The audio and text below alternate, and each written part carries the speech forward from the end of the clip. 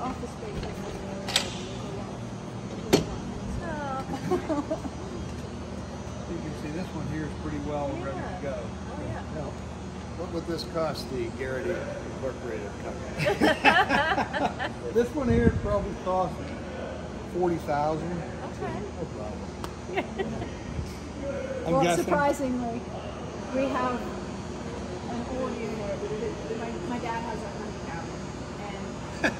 he converted it to a meat locker. So Oh. it, during deer season, Worked pretty good too. it's so crazy One to of drive these? back. Yeah. Yeah, that's it's actually a, No tower, a a- two bay, what we call a CLP, which is it is uh, it has a power bay on it, so it would be almost the size of that one right. Okay. Three bay. And we've got rails in it where you hang hooks and stuff.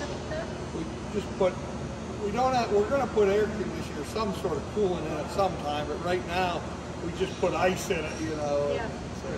Has a drain in the bottom. Yeah, working with this stuff has its perks.